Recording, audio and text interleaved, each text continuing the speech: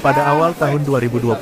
digegerkan seekor ular besar di atas terbit, atau pian sob video ini sempat viral dan akan viral lagi kalau ada lagi, tapi sob, bagaimana tidak ular raksasa menghuni di pian?